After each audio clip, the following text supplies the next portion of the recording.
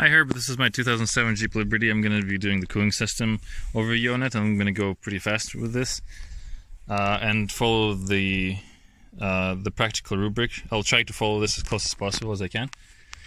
So the first one is the coolant flow direction. Coolant flow direction is from the uh, top uh, hose through the radiator, down through the lower hose right there, uh, to the water pump and then pumps it around the engine block heads and then out through the hot side again.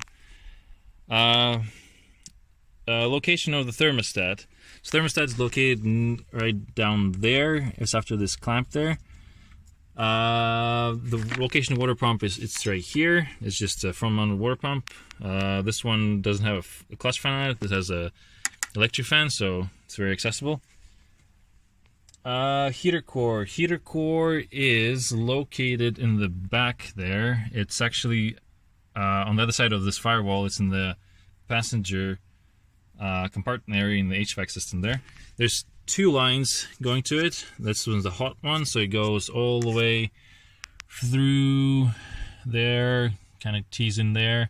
Not teasing, but uh, goes through this hose inside, then it cools by the blower motor, and then uh, comes out through this line right here and dumps out the cooler coolant into the side which is on or well at the lower road uh, lower rad hose side.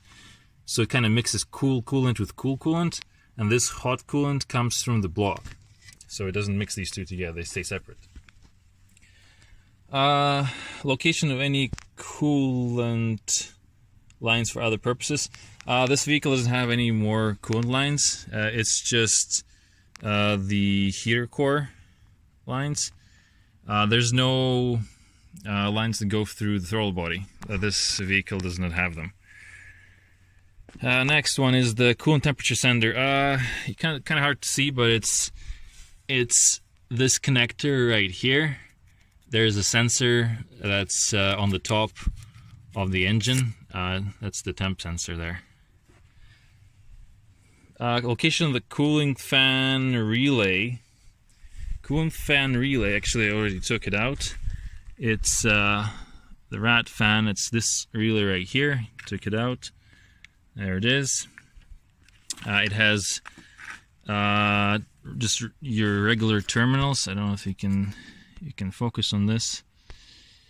Oh yeah, you can. So it has 86, 85, 30, and 87. So these are your negative and positive, and this is your closing side. So when it closes, when the PCM sends the uh, uh, command, it will close the side, and the the fan will will turn on. And how can you turn this fan without the relay? Well, you can jump uh, two posts.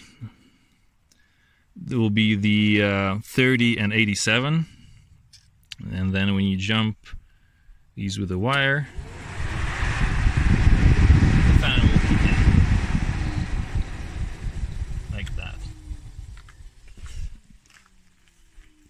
Uh, next, sorry about the focus. Um, how the radiator or heater core works. Uh, kind of explains how a little bit how the heater core works. Just a small radiator. Uh, uh, well, radiator is it has, a hot side. This is the hot side which comes from the top.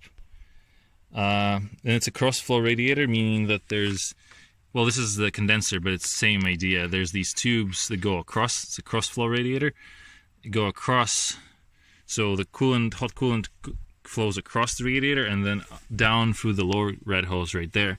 Now there's these fins which help uh, connect the the, um, the the pipes, the tubes, and they absorb more heat and they kind of catch the wind that comes in, and the heat uh, cools the radiator more more efficient. Uh, radiator heater work. Uh, identify leak points on the cooling system. Leak point can be uh, your rad cap. Maybe the tank can leak if it's uh, worn or degraded.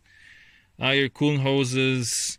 heater core hoses, especially the connections there, thermostat. Uh, I actually have a small leak on my rad cap. I need to replace that. Yeah, I take this vehicle off road, so it's a little bit messy here, like the engine compartment and everything. Sorry about that. Um, next one is identify cooling system problems. So first one, if the thermostat was completely seized shut.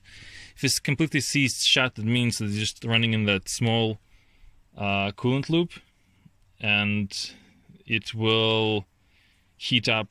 The engine will heat up very very fast, and it will not cool properly because there's no no access to the radiator. So it will eventually overheat and cause uh, damage to the engine. Uh, if it's slightly open, if the uh, if it's slightly open, it will be kind of hard to warm up. It will warm up, but it will not have the um, correct like warm up period and uh, will not cool very efficiently. Uh, when it's fully opened, it will be very very hard to uh, heat up the engine. Uh, it uh, will require you to maybe drive for extended periods of time to you because you're pushing the coolant through the whole radiator and everything. Uh, when like the whole volume of, of the coolant.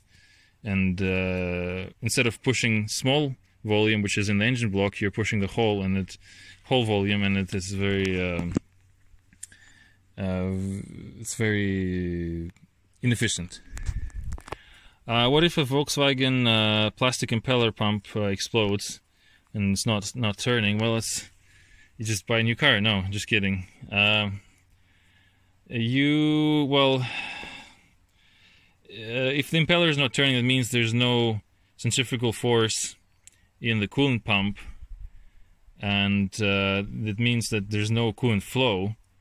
So the engine will have hot spots somewhere in, on the on the block, and uh, it will create uh, very bad problems for the pistons and uh, the engine can be can have a catastrophic failure. This is the wiring diagram for the 2007 Jeep Liberty radiator fan. Uh, so you have your battery, your fuse, and your 30 and your 86. That's the hot side.